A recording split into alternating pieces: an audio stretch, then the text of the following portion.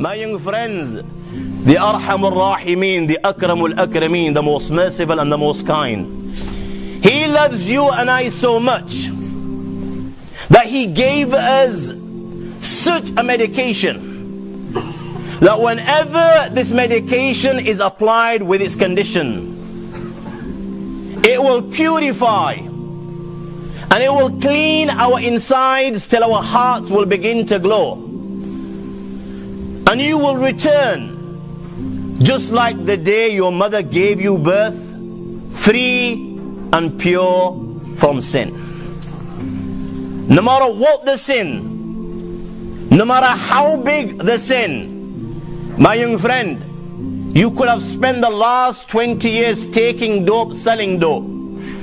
You could have spent the last 50 years gambling.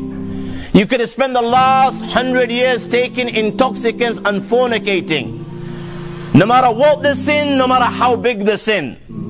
Whenever this medication is applied with its condition, your sin will melt before this medication just like the snow melts under the hot sun. And Allah, my young friends, is waiting for you. And whenever you decide, okay, you know what? Now's the time for me to turn to my Allah. Whenever you decide, okay, Allah, I've had enough of the razzmatazz of the dunya, oh Allah. Oh Allah, I've had enough of disobedience. Oh Allah, I've had enough of the stresses of the dunya. Oh Allah, I want to embrace you. Oh Allah, I want a life of peace and contentment.